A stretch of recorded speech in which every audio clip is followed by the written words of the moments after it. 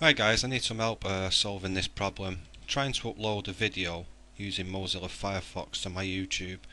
Just going to log in quickly here, show you what's going on. Um, I always go to the um, GB one, which is Great Britain. Sign in. So it'll just pan away for a, a short while whilst I log in. Um, and then I'll show you basically what's going on. Okay, I've just clicked sign in so just going to go straight to the upload link. Remember I'm using Mozilla Firefox here uh, upload video.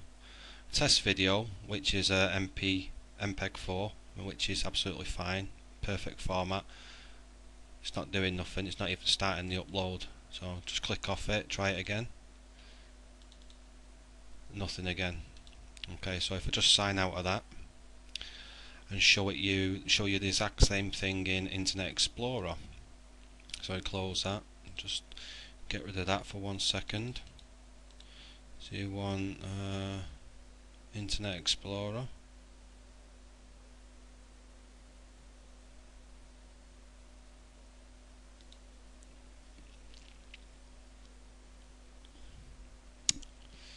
It's just loading now.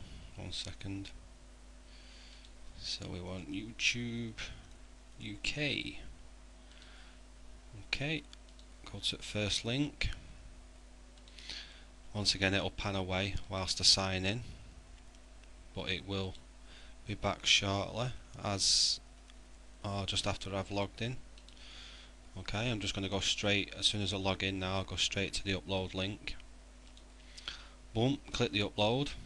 Again, same file,